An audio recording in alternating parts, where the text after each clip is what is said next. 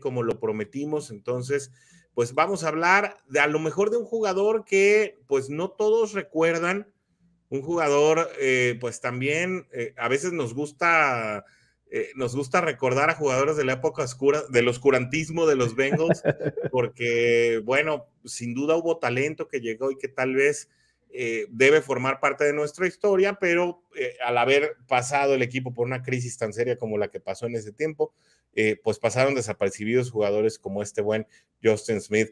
¿Qué nos puedes platicar de él, querido Oscar? Gracias, amigo. Pues un Justin Smith que yo creo que de los jugadores defensivos importantes. La verdad es que, como bien dices, quizá pasa desapercibido por la época en la que jugó, por los entrenadores que tuvo, donde Bengals no tenía mucha relevancia, pero creo que eh, de los jugadores que han eh, hecho una carrera importante en la NFL, y lo quisimos traer a colación porque justamente sus únicos dos equipos con los que jugó en la liga fueron justamente con nuestros Bengals y después termina su carrera con San Francisco. Teniendo más logros, sin duda, con San Francisco, pero si analizamos los números, la verdad es que son totalmente parejas las estadísticas que tuvo con Bengals y con San Francisco. Un jugador que fue drafteado en el año del 2001 por nuestros Bengals, primera ronda, hay que aclararlo, es una primera ronda, el número 4 de aquel draft y lo platicábamos justamente cuando se selecciona en esta ocasión a, Miles Murphy, ¿no? Justamente la última vez que Bengals había seleccionado a un liniero defensivo fue este señor justamente, Justin Smith. Eso ocurre, como ya decíamos, en el ya lejano año del 2001, ¿no? Ya se, otra vez ya llovió. Sí, poquitos años antes de que llegara Marvin Lewis. Exactamente. Sí, todavía le toca eh, pues es ser por ahí coachado en una parte con, Marvin Lewis, ¿no? Eh, él viene de la Universidad de Missouri, de los Tigres de Missouri, justamente también la coincidencia, viene de los Tigres y llega para otros Tigres, ¿no? También para jugar en la, en la NFL. Eh, un jugador sólido que jugó 14 años en la liga y como les decía, estadísticas totalmente de espejo. Jugó 7 años con Bengals, 7 años con San Francisco, con Bengals del 2001 al 2007 y con San Francisco del 2008 al 2014. Todo es parejo, como les decía amigos, con Bengals jugó 111 partidos, con San Francisco jugó 110. Todo es exacto. Capturas totales, amigo, 87 capturas totales en toda su carrera 43.5 con Bengals, 43.5 con San Francisco.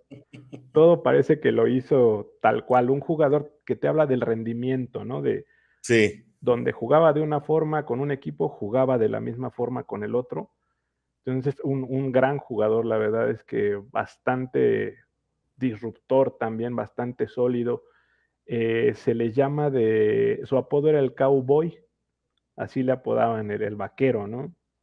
y viene porque en Estados Unidos ya ves que se les llama a los trabajadores como manuales o más de esfuerzo físico, se les llama blue collar workers.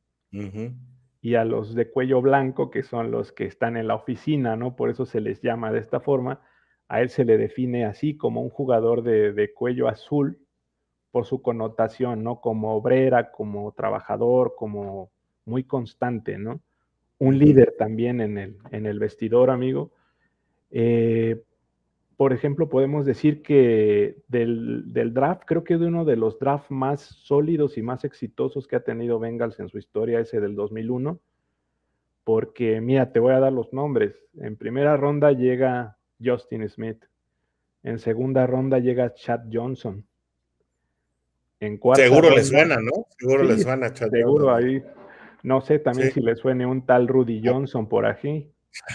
Claro, que también. Y luego un desconocido por ahí, un Tourash Hausmansa de Junior, que ese es el nombre de TJ Husmansada. TJ Husmansada. Ajá. O TJ Hus Your Mama, ¿no? Para, Exactamente. que en algún momento le, puso así Chad Johnson, ¿no? Pues ese, es el nombre justo de, de TJ, amigo, es Tourash Usman Sada Jr., así se llama el, señor, en la séptima ronda, ¿no? Sin duda un draft muy, muy redondo el de nuestros Bengals. Eh, Justin Smith, pues, ¿qué se puede decir, amigo? Jugó también un Super Bowl por ahí con, con San Francisco. Con Jeff García, ¿no? En la época de Jeff sí, García. me parece que todavía cuando estaba Jeff García en esa época, eh, no, no lo ganan. Sí. Eh, pero sí de, por ejemplo... Los de con cuervos, ¿no? Lo pierden con cuervos. cuervos, sí, aquel, el, el Harbaugh Ball, ¿no? Todavía de, exacto, de cuando se va la luz y toda esta situación ahí en el estadio, ¿no? Ese día fue, muy chistoso porque se les fue la luz a ellos, pero también se me fue la luz a mí. Entonces, está, me acuerdo que estaba viendo el partido en, casa de mis suegros. Eh, ahí una anécdota, ¿no? Ahí al sí, claro, claro. Eh, y ahí estaba viendo el partido porque estaban cuidando ellos a, mi hijo y lo habíamos ido a recoger, pero se lo llevaron al parque. Entonces me puse a verlo ahí eh, en casa de ellos. Se les va la luz me voy corriendo a mi casa, casa de todos ustedes, y, llego a verlo, que resulta que a ellos también se les había ido la luz, ¿no? Bueno, no, no, fue una, fue una anécdota. Todo pasó ahí, amigo. Oye, aprovecho, eh, aprovecho para, para mandarle aquí un saludo a la hermosa Leslie Calderón, que nos vino a dejar un eh, enorme, pues hoy, obviamente le mando un jude con todo mi amor y un abrazo hasta Guadalajara. ¿no? Aprovecho por ahí presente, ¿no? Ya que hablaba de, de, mis suegros e historias, ¿no? A quienes también les mando un abrazote hasta allá, hasta Minnesota. Ahora andan por allá. Eh, y bueno, pues prosigamos entonces con la anécdota de, ah, pero, de, Justin Smith y, su, y su Super Bowl con los 49. Super Bowl con los 49. No, qué, qué, gusto, amigo, la verdad, ver por aquí también a, la familia, ¿no? Qué, qué padre es eso. Claro. Un saludote también por allá, con todo, con todo gusto, ¿no? A la familia de nuestro querido Orson. Eh, ¿Qué más, amigo? Pues mira, platicando de estadísticas, eh, por ejemplo, con Cincinnati, es el cuarto lugar de, toda la historia con esas 43.5 sacks. Es el cuarto lugar histórico con más ah, eh, detenciones de mariscal de campo. Eh, o sea, detrás de Carlos Dunlap. Está Dunlap. Gino Atkins me parece que está ahí también. Ok, y se me... A ver, este era defensivo de los 70 el que tenía el récord antes de Carlos Dunlap.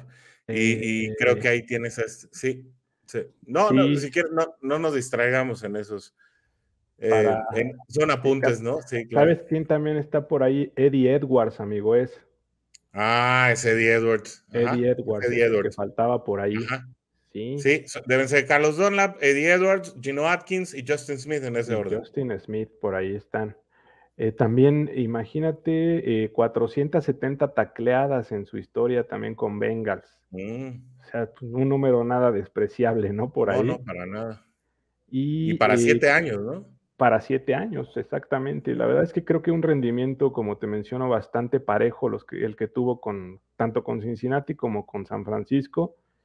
Era un jugador que pues siempre daba su, su máximo. La verdad se perdió muy pocos partidos en su en toda su carrera con de la NFL y te voy a dar por ahí, por ejemplo, ya los, los premios o los honores que, por ahí tuvo en toda su, carrera. Eh, fue primer equipo All Pro en el 2011, mm. tres veces segundo equipo All Pro del 2011 al 2013 también, cinco veces al Pro Bowl, las cinco veces con San Francisco, lamentablemente, ¿no? Fueron del 2009 al 2013 con Cincinnati sí logra un honor, que es el equipo de novatos, hacer el, el, all, all, Team, me parece que se llama, exactamente All Rookie Team en el 2001. Eh, a nivel, pues por ahí colegial, el primer equipo All American en el 2000, dos veces eh, de los All Big Ten, del equipo de All Big 12, perdóname, que era la, la, división. división. donde juega, ¿no? En el colegial y pues entre ese otros honores por ahí. Eh, ya después se retira de la, de la liga, recordado como un gran jugador. En San Francisco dejó, creo que más corazones rotos que en Cincinnati, pero la verdad es que hizo bastantes méritos. Un jugador bastante constante, bastante trabajador, un líder en el, en el vestuario. Y pues fíjate, por ejemplo, eh, un dato curioso, es, es propietario de un club de golf, de un club de golf ahí en Missouri. A eso se dedica. Yo creo que no le ha de ir nada mal al señor por ahí después de, haberse retirado, ¿no? Como no, para, creo. Sí, como para ser propietario de un club de golf, creo que le va bastante bien. Se llama Railwood Golf Club, es el, dueño de este lugar para jugar al golf. Y pues, lo, como bien les digo, amigos, lo decidimos traer porque es un jugador que jugó con las dos franquicias, ¿no? Tanto con Cincinnati como San Francisco. Y pues creo que un jugador que quizá con, con eh, menos recordado en Cincinnati, pero que lo hizo de bastante buena forma también.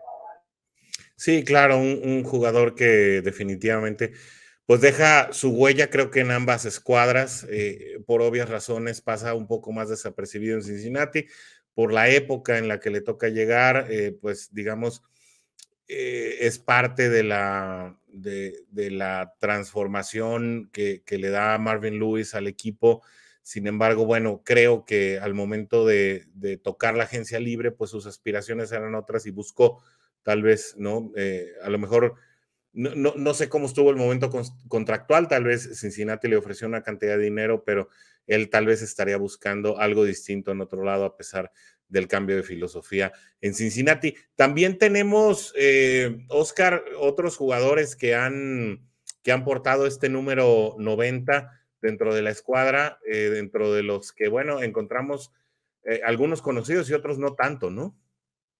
Sí, yo creo que pues la mayoría no tan conocidos, creo, un número que también se empezó a usar de forma más reciente, ¿no? A partir del 85, como vemos aquí en la gráfica.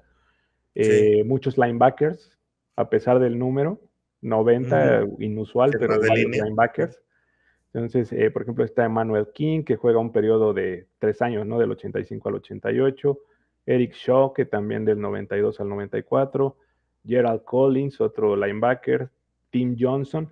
Creo que Michael Bankston, por ahí un poquito más sonado el, jugador. Después viene Justin Smith, que creo que es de los más importantes finalmente. Un Pat Sims, por ahí que yo creo que sí recuerdas también, amigo. Sí, claro, claro. Eh, lo hizo de una forma decente sin llegar a ser nada, eh, pues del otro mundo, ¿no? Todavía en los Bengals de Carson Palmer, ¿no? Todavía en esa época. Después viene Cristo Vilukidi, un jugador por ahí de Angola que estuvo un tiempecito con los Bengals. Creo que de los más recordados recientemente Michael Johnson, ¿no? Por ahí que curiosamente primero jugó con el número 93, después, se va a jugar una temporada por ahí con Tampa. Sí, y regresa ya con el 90 y ahora usa el número 90. Creo que de los jugadores un poquito más constantes, ¿no? Que, sí, sí, sí, han portado este número. Y Muy técnico y efectivo, sí. un jugador eh, espigado, ¿no? Grandote. Pero muy, fuerte también. Muy fuerte también, la verdad. Creo que de los más notables. Después viene Anthony Settle, que pues creo que no tenemos mucha ah. referencia de él.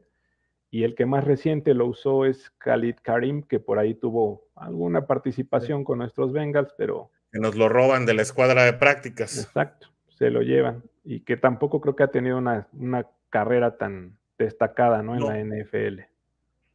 No, definitivamente no. Eh, pues gran historia. Llegaste al final de este video. Encuentra más contenido de la única y original Houday Nation en español suscribiéndote aquí.